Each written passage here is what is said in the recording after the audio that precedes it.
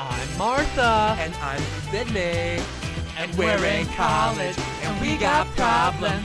And we're girls. College Girl Prob.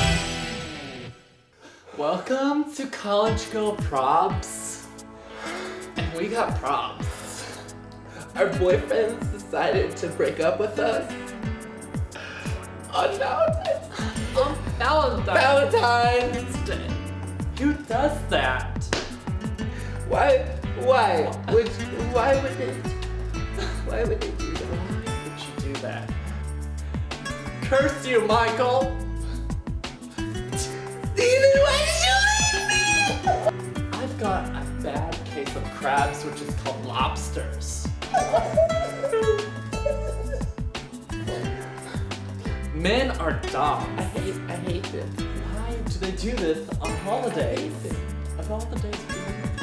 Like, do it on a Tuesday in like July. Happy Valentine's Day 2013. I'm gonna stab him in the chest! Don't do it! College Girl Prob.